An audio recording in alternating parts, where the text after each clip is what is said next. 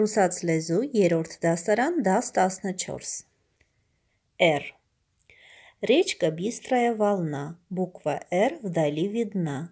Это парус, там тугой, выгибается дугой. Վարժություն 1. Прочитаем слитно, Карту ենք վարժ։ В рыжий город, в город, в этом городе, по рыжему песку, на них, для рыжих, над реками, в реках, из дома, по радио. Վարժություն 2. Прочитаем парами.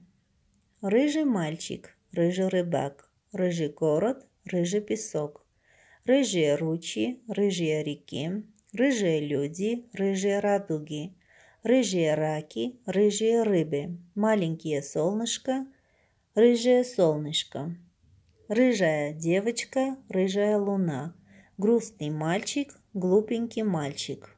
Варжицюнь ерек. Прочитаем. Обратим внимание на произношение лезь, ся, тя. Улыбались, проснулся, засмеялся, радоваться. Варжицюнь чорс. Внимательно прочитаем слова с буквой «мягкий знак». Вальс, мальчики, спать, добро пожаловать. Варжицюн хинг. Прочитаем. Сначала так, потом так. Կարդում ենք սկզբում այսպես, հետո այնպես. Дразнили одного мальчика рыжим. Одного мальчика дразнили рыжим. Մի տղայի ծաղրեցին շիկահեր անվամբ։ Вошел мальчик в город. Мальчик вошел в город. Տղան մտավ քաղաք։ Подошла тут к мальчику рыжая девочка. Тут к мальчику подошла рыжая девочка. Այնտեղ տղային մոտեցավ շիկահեր մի աղջիկ։ Научимся читать рассказ. Рыжий город. Սովորում ենք կարդալ պատմվածքը։ Շիկահեր քաղաքը։ Одного мальчика дразнили рыжим. Մի տղայի ծաղրում էին շիկահեր անվամբ։ Однажды летом он лег спать и видит сон. Как будто он ушел из дома и идет, сам не зная куда. Մի անգամ ամռանը Նա պարկեց քնելու և երազ տեսավ։ Իբր թե տանից դուրս եկավ և գնում էր ինքն էլ չգիտեր թե ուր։ Смотрит, стоят ворота, а на них написано «Добро пожаловать в рыжий город»։ Նայում է տեսնում դարպասներ են, իսկ նրանց վրա գրված է «Բարի գալուստ շիկահեր քաղաք»։ Мальчик вошел в город։ Տղան մտավ քաղաք։ Светило солнце։ Было жарко. Արևը փայլում էր։ Շոգ էր։ В этом городе все было рыжим. Այս քաղաքում ամեն ինչ շիկահեր էր։ Рыжие ручьи текли по рыжему песку и рыжие реки։ Շիկահեր ավազի վրայով հոսում էին շիկահեր գետերն ու շիկահեր վտակները։ А над рыжими реками весели рыжие радуги։ Իսկ շիկահեր գետերի վրա կախված էին шикахер тиацаннеря. Рыжие рыбаки ловили в рыжих реках рыжих рыб и рыжих раков. Շիկահեր ձկնորսները ձուկ էին որսում շիկահեր գետերում, բռնում էին շիկահեր ձկների և շիկահեր խեցգետինների։ По радио передавали вальс для рыжих։ Ռադիոյով եթեր էր հեռարձակվում վայրս շիկահերների համար։ И все рыжие люди радостно улыбались, եւ բոլոր շիկահեր մարդիկ ուրախ ժպտում էին։ Тут к мальчику подошла рыжая девочка. Այստեղ տղային մոտեցավ շիկահեր մի աղջիկ։ Ты почему такой грустный? Դու ինչու ես այդքան տխուր։ Меня все рыжим дразнят, ответил мальчик. Ինձ բոլորը անվանում են շիկահեր, ծաղրում են, պատասխանեց տղան։ Какой глупенький, засмеялась девочка. А ты посмотри на солнце, какое оно։ Ինչ հիմարն ես, ծիծաղեց աղջիկը, իսկ դու նայիր արևին, ինչպիսին է այն։ Рыже, сказал мальчик. Շիկահեր է, ասաց տղան։ И мы рыжие, значит, все мы маленькие солнышки, радоваться надо։ Մենք էլ ենք շիկահեր, նշանակում է բոլորս փոքրիկ արևներ ենք, պետք է ուրախանալ։ И тут мальчик проснулся. Выбежал он во двор, а мальчики кричат ему «Рыжий, рыжий». Եվ այստեղ տղան արթնացավ, վազեց բակ, իսկ այնտեղ տղաները նրան կանչում էին՝ շիկահեր, շիկահեր։ Но мальчик только засмеялся и подмигнул рыжему солнцу. Բայց տղան միայն ծիծաղեց եւ աչքով արեց շիկահեր արևին։ Վարժություն 6 предложении однажды он лег спать и видит сон, заменим выделенное слово так, чтобы смысл предложения не изменился։ Մի անգամ նա պարկեց քնելու եւ տեսավ երազ նախադասության մեջ, փոխենք ընդգծված բառն այնպես, որպեսի նախադասության իմաստը չփոխվի։ Վարժություն 7 Найдем в рассказе «Рыжий город» антонимы к словам «радостный», «умненький», «большой», «пришел», «вошел», «вбежал». Շիկահեր քաղաք պատմվածքում գտնենք հականիշներ նշված բառերին։ Прочитаем предложение с этими словами.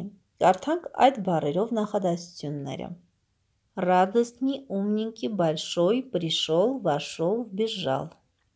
Радостный, грустный, умненький, глупенький, большой, маленький, пришел, пошел, вошел, вышел, вбежал, остановился. Важитюн ут. Скажем «да» или «нет». Асуменкаю камвоч.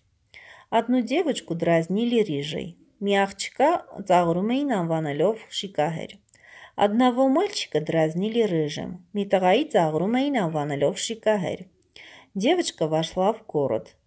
Աղջիկը մտավ քաղաք։ Мальчик вошел в город. Տղան մտավ քաղաք։ Было жарко. Շոգ էր։ Было холодно, ցուրտ էր։ Վարժություն 9. Мальчик попал во сне в рыжий город летом, когда было жарко. Տղան երազում ընկավ շիկահեր քաղաք ամռանը, երբ շոգ էր։ Рассмотрим картинки. Նայում ենք նկարները։ Какое время года на них изображено? Տարվա որ եղանակն է դրանց վրա պատկերված։ Подумаем и скажем. Կամու жарко, կամու холодно, а կամու тепло։ Մտածում ենք եւ ասում. ով է շոքում, ով է մրսում եւ ում համար է տաք։ Բաժություն 10. Отгадаем загадки։ Դուծում ենք հանելուկները։ На минуту в землю врос разноцветный чудо мост։ Մեկ վարքյանում կամ մեկ րոպեում երկրի վրա աճեց բազմագույն հրաշք կամուրջը։ У родителей и деток вся одежда из монеток։ Ծնողների եւ երեխաների մոտ ողջ հագուստը դրամներից է, մետաղադրամներից է։ На мели он сидит и усами шевелит, а гулять пойдет, идет за дом наперед։ Նա նստած է մարուքների վրա եւ բեղիկներն է շարժում։ Իսկ երբ գնում է զբոսնելու, հետ-հետ է գնում։ Не хожу и не летаю, а попробуй догони. Я бываю золотая, ну-ка в сказку загляни։ Ես չեմ քայլում և չեմ թռչում, հապա փորձիր ինձ բռնել։ Ես լինում եմ ոսկեգույն, փորձիր ինձ գտնել հեքիաթում։ Ռասա искрится на траве, река струится в синеве. Резвится рыбка на волне, а он рыбачит в тишине. Թփերի մեջ խոտն է աճում, գետի ափին գետը կապույտ հոսում է, ձուկը ջրում ալիքների հետ խաղում է, իսկ ձկնորսը լռությամբ նստած է ձուկի որսում։ Իսկ ձկնորսը լռության մեջ ձուկ է որսում։ Վարժություն 11 Прочитаем шутку. Подумаем, умеет ли герой выговаривать слова со звуком «р»։ Կարդում ենք հանելուկը, Վարժություն 11. Прочитаем шутку. Подумаем, имеет ли герой выговаривать слова со звуком «р»։ Կարդում ենք հումորը եւ Մտածում՝ կարողանում է արդյոք հերոսը արտասանել «ր» տառով հնչյունները, բառերը։ Почему? Ինչու՞։ Не скажу я никому, почему тигры рычат гар. Вороны кричат кар. Коны хряпат хр. Ставни скрипят скр. И не догадается никто, что тигры рычат, вороны кричат. Ставни скрипят, кони хряпат. Чтобы научить всех ребят трудное «р» выговаривать. Ես ոչ ոքի չեմ ասի, թե ինչու, թե ինչու են վագրերը կանչում գար, իսկ ագրավները կար։ Ձիերը խրխրացնում են խր, խոզուկները ձայն են հանում սկր եւ ոչ ոք գլխի չի ընկնում, որ այս բոլորը միասին փորձում են երեխաներին սովորեցնել ամենաբարդ արտասանվող R հնչյունը։ Վարժություն 12։ Выберем правильный ответ. Ընտրում ենք ճիշտ պատասխանը։ Вода в реке обычно бывает. Գետում ջուրը սովորաբար լինում է голубая, зелёная, рыжая։ Երկնագույն, կանաչ, շիկահեր կամ դեղին։ Мальчик во сне увидел, տղան երազում տեսնում է рыжую радугу, зеленую радугу, разноцветную радугу։ Տղան երազում տեսավ շիկահեր ծիածան, կանաչ ծիածան, բազմագույն ծիածան։ Все может быть рыжим, ամեն ինչ կարող է լինել շիկահեր։ В обычном городе В сказочном городе, который можно увидеть во сне, в городе, который находится на берегу озера։ Ամեն ինչ կարող է լինել շիկահեր սովորական քաղաքում, հեքիաթային քաղաքում, որտեղ որը կարելի է տեսնել երազում, եւ քաղաքում, որը գտնվում է լճի ափին։ Վարժություն 13։ Кого дразнили рыжим։ Ում էին ծաղրում շիկահեր անվանմամբ։ Что случилось однажды։ Ինչ տեղի ունեցավ մի անգամ։ Расскажем сон мальчика. Պատմում ենք տղայի երազը.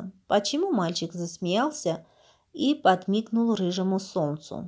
Ինչու տղան ծիծաղեց եւ աչքով արեց կարմիր արևին։ Когда мальчики стали дразнить его, երբ տղաները սկսեցին ծաղրել նրան։ Բաժություն 14. Прочитаем в лицах разговор рыжего мальчика и рыжей девочки։ Դերերով կարդանք Շիկահեր տղայի և շիկահեր աղջկա երկխոսությունը։ Վարժություն 15 Попробуем передать рассказ от имени рыжего мальчика. Можно начать так. Меня все дразнили рыжим. Один раз я увидел сон.